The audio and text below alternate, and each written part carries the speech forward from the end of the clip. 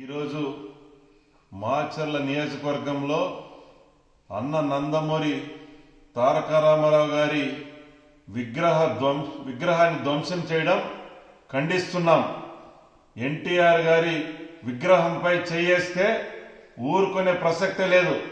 అది ఆరడుగుల విగ్రహం కాదు. తెలుగు జాతి ఆత్మ గౌరవం అధికారం ఉందని హద్దు మీరితే చూస్తూ ఊరుకోం గుర్తుపెట్టుకో జగన్ రెడ్డి.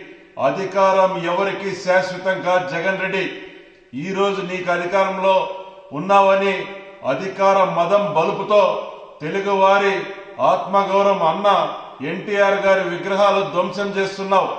రేపు మేము అధికారంలోకి వచ్చిన వెంటనే నీ తండ్రి రాజశేఖర రెడ్డి విగ్రహాలు ఎక్కడ కనపడనీయకుండా చేస్తామని ఈ సందర్భంగా హెచ్చరిస్తున్నాం.